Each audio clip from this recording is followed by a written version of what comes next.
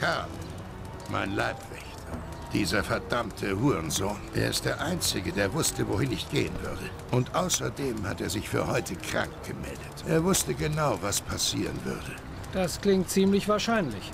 Ja, das denke ich auch. Ich zerreiße ihn in der Luft wie ein Hund.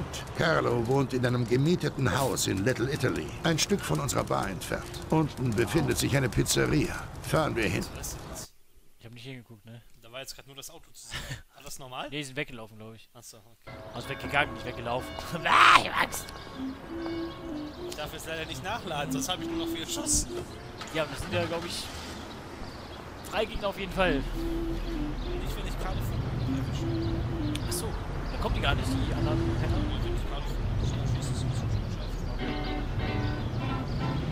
Habe ich leider nicht hinbekommen. Mein Gott, was ist da los?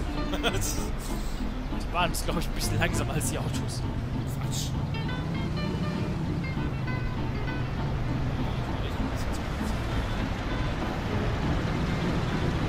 Oh! So ein leichtes Auto. Ja. Es ist aus Styropor.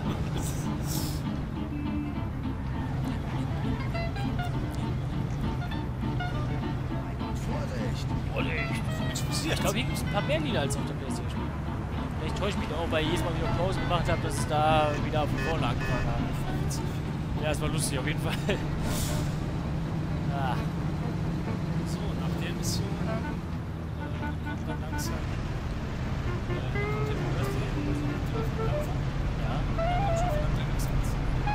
Oh. Boah, die habe ich so gehasst. Die machen wir an dem Samstag nächste Woche.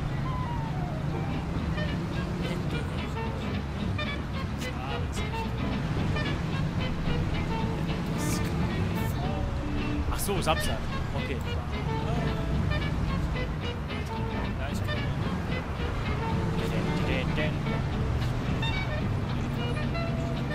Gehst du mit dem Onkel da rein?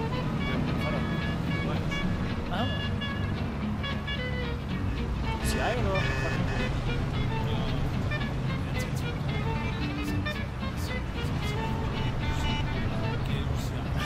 Du denkst halt praktisch, ne? So nah dran. Boah, ich war so lange wieder der Film, ne?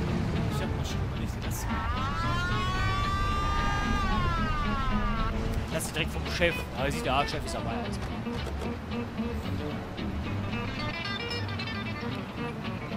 Was soll ich sagen? Weg? Mal, Mal. Okay, kein Problem. Hier ist das Geld. Weißt du, wann ich das letzte Mal war? Boah, da, muss ich jetzt erstmal nachdenken. Ich hoffe, das kommt wieder vor.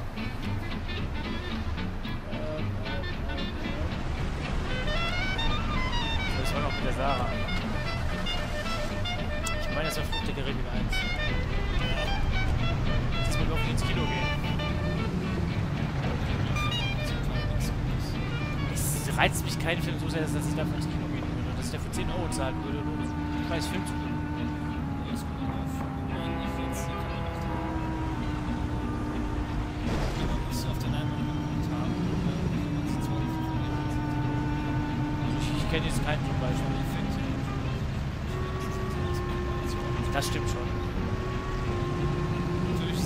Scheiße, wenn du so eine Lavabacke neben dir sitzt. Der geht alles kommentieren. Ja. Das ist, doch, das ist doch das, was mir bei Kino am meisten auf den Sack geht, neben dem Preis. Die Leute. Das ist echt so. Du warst die ganze Zeit im Ja, ich hoffe, dass die ganze Zeit, die hören die ganze Zeit so Tuschelose. Ich meine, der, die Lautstärke des Films überschattet das in der Regel. Oder oh, so Comedy-Filme, ne, die halt über jeden Scheiß lachen, weil man da zu lachen hat, weißt du. Boah, da geht mir auch immer so auf den Sack. Weil mich steckt sowas nicht an.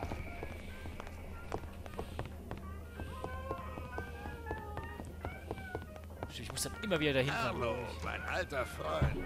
Jetzt bist du dran. Also los, Tom. Ich weiß nicht. Tritt die Tür ein, geh da rein. Bring den Bastard um. Das war mein Waterloo. Jetzt, die äh, Feuertreppe, Tommy. Schnell. noch ein Schuss weniger.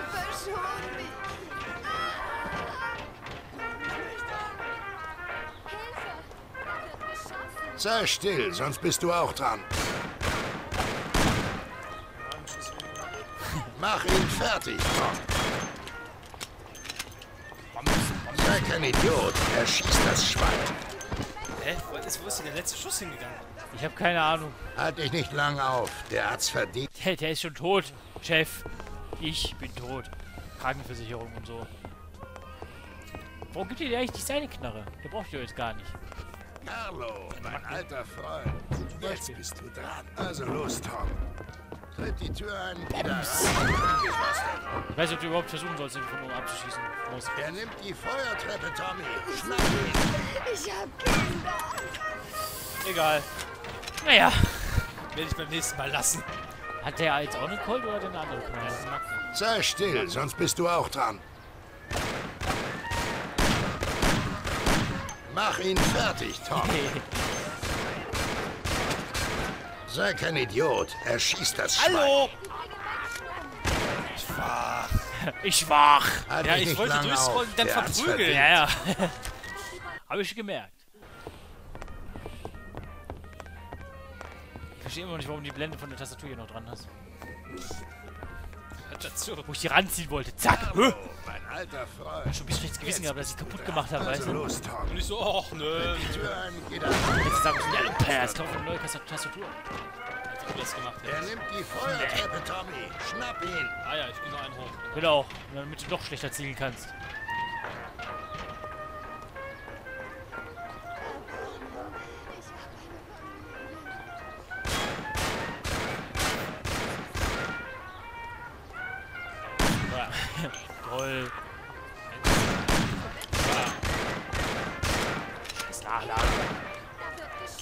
Sei still, sonst bist du auch dran.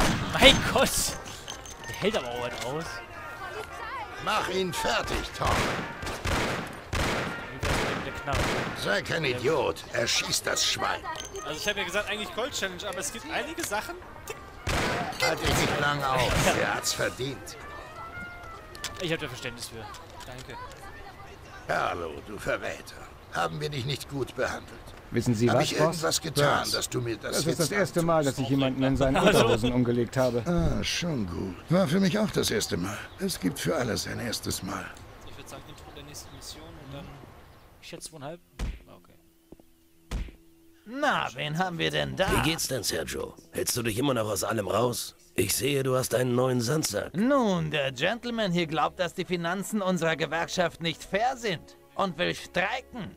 Ich habe immer gesagt, dass ein Streik eine schlimme Sache ist. Es sei denn, er wird von meinem werten Bruder organisiert und hat ein höheres Ziel. Damit kommen Sie nicht davon.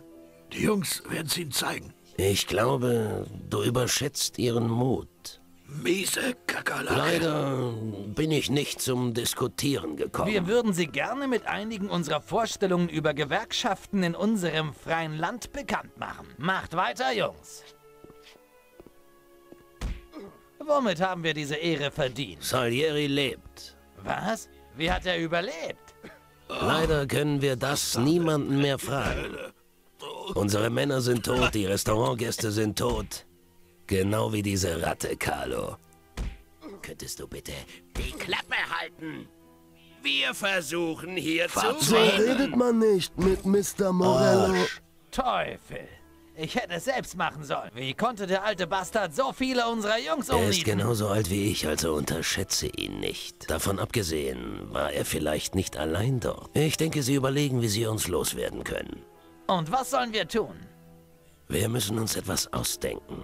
Passt in der Zwischenzeit gut auf eure Ärsche auf. Die hetzen jetzt sicherlich ihre besten Leute auf uns. Heißt das Krieg um jeden Preis? Es ist schon seit einiger Zeit Krieg. Jetzt umso mehr. Pass auf dich auf, Bruder. Boss, sieht so aus, als hätte er genug. Was sollen wir mit ihm tun? Keine Ahnung. Macht ihn fertig und werft ihn ins Meer. Süße? So muss es sein. Süße? Äh, ich guck gerade hier mal auf das Programm. Wie kriege ich das eigentlich besser, dass das, das wegen der Auflösung so verschoben ist? Ja, genau. Dann müsstest du dann noch ein Stückchen nach links schieben, damit es noch teilweise auf dem linken Bildschirm ist und dann könntest du es besser sehen. Genau. Okay. Happy Birthday. Dankeschön. Tommy, dieser Mordversuch bedeutet, dass Morello uns offen den Krieg erklärt hat. Wir müssen uns um ihn kümmern. Wenn Morello keine Komplizen unter den Politikern und anderen wichtigen Organisationen hätte, wären wir annähernd gleich stark. Wenn wir diese Leute liquidieren, wird unser Gegner erheblich geschwächt. Das ist es also, was wir tun müssen. Seine starken Kontakte eliminieren. Richtig. Und wie wir alle wissen, müssen wir einen offenen Krieg vermeiden. Holt euch die Generäle, dann geben die Soldaten kampflos auf. Das ist der Plan. Wir machen sie einen nach dem anderen fertig. Was meinen Sie genau? Der Erste in der Reihe ist der Stadtrat, der uns solchen Ärger gemacht hat. Morello hat ihn in die Politik gebracht. Das macht ihn zu einem starken Verbündeten. Wir kümmern uns nach dem Jungen um ihn. Und das bedeutet heute. Der Stadtrat feiert seinen Geburtstag und hat beschlossen, einen großen Empfang zu geben. Der Empfang ist auf einem Dampfer mit Feuerwerk und dem ganzen Kram. Und er wird eine Rede für die Paparazzi halten. Da werden eine Menge Leute sein, die nichts gegen uns tun werden, wenn sie sehen, was mit ihm passiert. Klingt ziemlich riskant. Ist aber das Risiko wert. Vincenzo kennt den Plan. Okay. Wie gesagt, es ist auf einem Dampfer. Wird nicht ganz einfach, ohne Einladung reinzukommen, aber du schaffst das schon, Tom. Versuch vor allem kein Aufsehen zu erregen, bevor wir das Ziel erreicht haben. Natürlich kriegst du keine Waffe an der Security vorbei, aber dafür ist bereits gesorgt. Also, sobald du an Bord bist, musst du zu einer der Männertoiletten gehen. Dort ist ein kleiner Revolver verborgen. Anschließend wartest du ein Weilchen draußen. Der Stadtrat versteckt sich wahrscheinlich in seiner Kabine. Aber zu Beginn der Feier kommt er für seine Rede nach draußen. Das ist ein großer Auftritt. Du nietest ihn während seiner Rede um, Tom. Es muss in der Öffentlichkeit passieren und die Rede bietet sich geradezu an. Da werden äh, jede Menge Leute sein, die du beschuldigen kannst, äh, sobald alles vorbei ist. Und was dann? Ich würde gern in einem Stück zurück an Land kommen. Danach wird die Hölle los sein.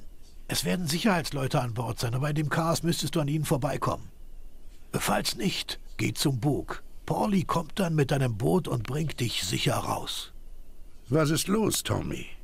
Es wird nicht leicht, aber das schaffst du doch. Okay, ich mache es. Das Boot liegt am Ufer bei Central Island vor Anker. Du gehst besser los, sonst verpasst du es. Behalte die Zeit im Auge. Buona Fortuna, Tom. Gut. Dann hätten wir für heute das Spiel erledigt. Jo. Haben wir ein bisschen was geschafft. Schaut euch mal die Lupe an.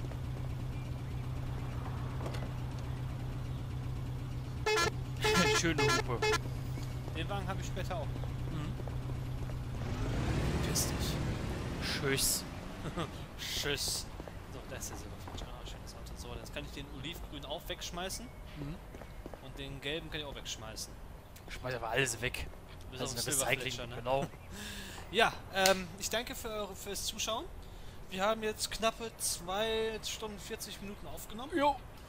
Sind, haben gut was geschafft. Ja, Was einfach mal ein bisschen schleppend, aber dann Wir können ging ja es mal eben eigentlich. gucken. Zang, alles weg. Oh ja, 14 sind wir jetzt. Ja. Drei komplette Missionen. Ja. Eigentlich vier. Die zehn müssen wir noch mit, Mit dazu Omerta zählen. Ja. wir noch dazu. Ja, 2 Stunden 30 Ja. seit dem letzten Mal. Getan. Gut. Ich bin deutlich schneller als beim letzten Mal. ja. Gut, aber ich bin jetzt fertig soweit. Dennis, letzten Worte. Ich habe nichts zu sagen. Außer tschüss. Bis neulich.